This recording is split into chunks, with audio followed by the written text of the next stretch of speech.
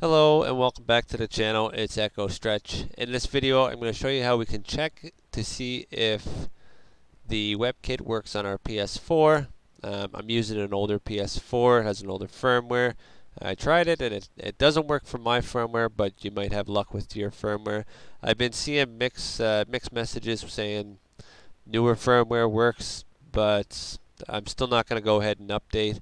It's too early now. I'm just going to leave it the way it is now. But I thought I'd just jump on and show you how you can go ahead and just check yours as well. But uh, yeah, let's just jump right into it. We'll go over to our settings first. And we'll go to System, System Software, Console, inf console Information. And I will show you that which firmware I'm on, which is 2101-03 uh, 000038 and then 1. Um, so let's go back up one here. We're going to go into System Software Update Settings. Just going to make sure these two are unchecked. Um, I don't think that any updates will automatically download if uh, you're not signed into PSN, but uh, yeah, it's better off just to uncheck them for now. We're going to go ahead and set up our Wi-Fi with AlloZip's uh, DNSs, and that should block out the Sony servers. But uh, yeah, just uh, when you do go ahead and start your connection, just keep an eye open for the download. Uh, any messages that may pop up saying updating system software. But uh, I did this a few times and I didn't get any messages, so let's just uh, jump right into it here. I'm going to set up internet connection. And we'll go ahead and choose our network. And we'll go ahead and type in our password.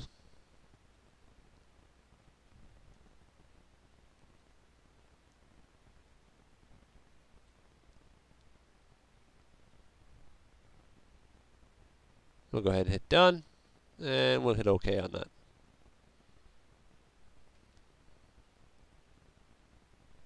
Okay, and once you're connected, go ahead and click on it again. Go to Advanced Settings, and we'll scroll down to DNS, or Manual. Go ahead with our first one, which is 165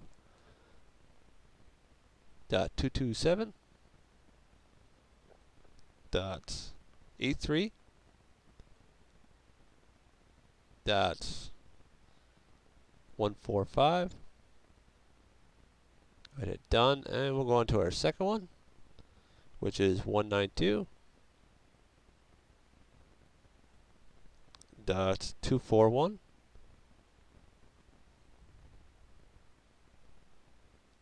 Dot two two one dot seven nine. Go ahead and hit done. Okay, and you can just go over and confirm them. Uh, 165.227.83, 145, and then 192.241.221.79. Go ahead and hit OK. Okay, and we'll give it a couple of seconds here just to get connected again.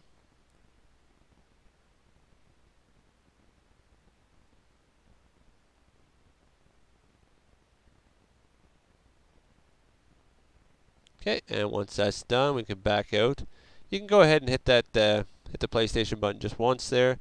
You can go into your notifications just to confirm nothing did download. If it did, go ahead and delete it. But uh, yeah, it should nothing should download. So from there, we'll go over to our settings. Go ahead and use user guide, and we'll go into the user guide here, and it should load up the uh, Al AlloZip's web host here. So we'll go ahead and hit our L2 twice. One will bring up the your settings. The second one will give us a uh, URL, URL redirect. From there, we can just go ahead and just go over to the end there. And there's a number of ways you can do it. The easiest way I found was uh, just to go into YouTube.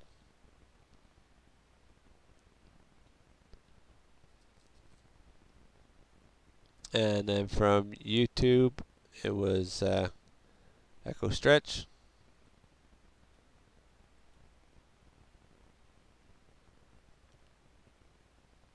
And then uh, I just clicked on my name there. And then I have the three links in these three different videos. Um, you can check them all. Go ahead and just choose this here one first. We'll scroll down to show more show, show more. And then we can go ahead and click on the link. We go ahead and test and hit OK. So I'm getting there's not enough system memory here, so it's not working for me at all. We can go ahead and check out the other one. Um, just back out. I think they're both pretty much the same now. Rev 2 and Rev 3, I think they're um, pretty much the same, but we can go ahead and click on this one, which is Rev 3. And we're going to show more. Go ahead and click on it. And we'll go ahead and click this one. We can see that uh, font face comes up. And then font face set comes up. So it's basically, it's not getting the commands. It's not working on that.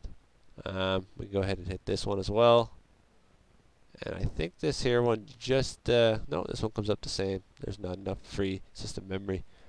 So that's with my firmware. Your firmware may be different.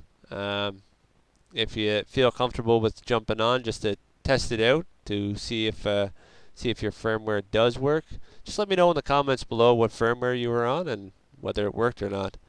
But I'm going to leave the video at that. If you did like it, go ahead and hit that like button.